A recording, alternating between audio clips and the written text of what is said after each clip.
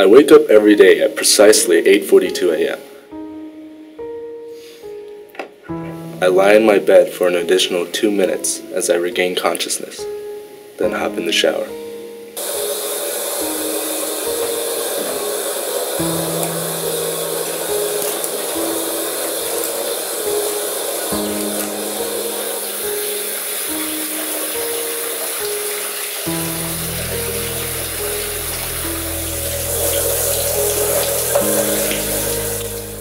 I lather my hair with Garnier Fructis shampoo for 14 seconds before rinsing for 5. This allows for a proper cleansing of the scalp.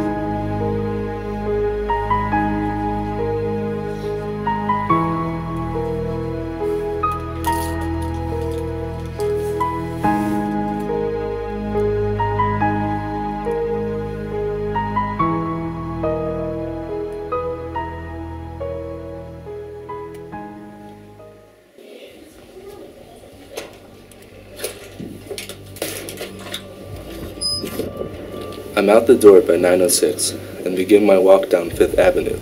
Deadlines and appointments run my life. I stay confined within the cycle of my everyday routine because it's safe. I know what to expect and I more or less know what's going to happen to me at any given moment. My therapist diagnosed me with chronophobia, in other words, the fear of time. I disagree with his opinion. I just hate the uncertainty of not knowing what's going to happen next.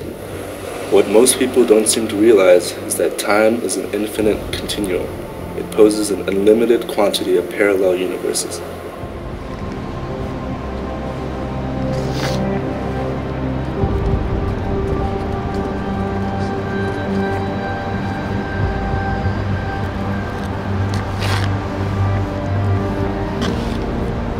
Let's say that I woke up at 8.43 a.m. rather than 8.42.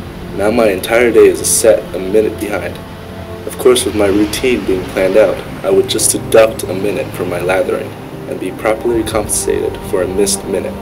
However, most people would not take the responsibility for the implications they're having on the cause and effect chain of life. Every individual should be held accountable for the outcomes of everyday events. Before you know it, that minute was the reason someone lost their life due to an unexpected car accident as they crossed the street. My only desire is to finally make enough money where I can move someplace remotely pleasant and not need to worry about having to do anything. My seclusion will evaporate the presence of time and keep me out of harm's way.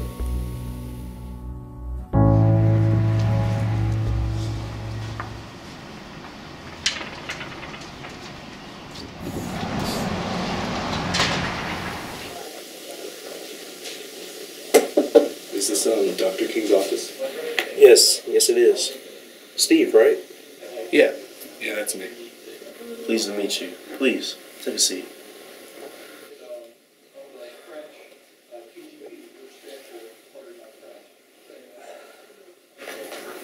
So, Steve, I can call you Steve, right? How you doing today? I'm doing fine. How are you? I'm doing fine. So, Steve, tell me, what got you so interested in fortune telling? I scheduled this meeting because um, I I need you to do something for me. I I want you to tell me everything noteworthy that is going to happen to me in my life. I I don't want to worry about what I can't control anymore. Well, Steve, all I can say is you came to the right place. Now let me see. In two months and approximately three days, I see you getting the promotion of your career. Also, in the near future, I see you having this budding relationship with this cute coworker of yours. Wow. I, I like what I'm hearing. But wait, there seems to be more. In approximately two years and four months, your father would die from losing a six month battle against leukemia. As for your mother, I'm afraid that she died from getting hit by a drunk driver on her way back from dinner with a friend. As for you, you. Jesus Christ. I, I don't want to hear that. I, I'm getting out of here. Steve, Steve, hold on, hold on. Steve, I had to admit to you, I was lying this entire time. You see, time is a mystery. No one is sure what time really is. It's something that helps generate hope, and progress. It makes us appreciate all this time that we have left on this earth. Because, Steve, we don't know how much time we have left.